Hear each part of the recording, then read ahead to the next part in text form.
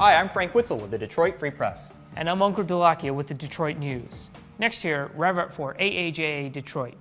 Detroit's known for its music, cars, and sports history, and more importantly, Asian American civil rights history.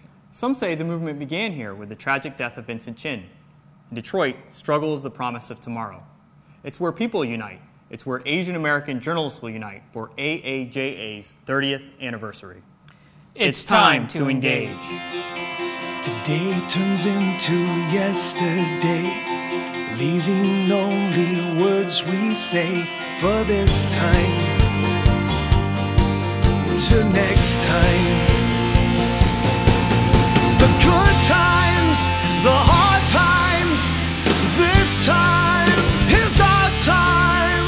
We're all in this together. We're living in between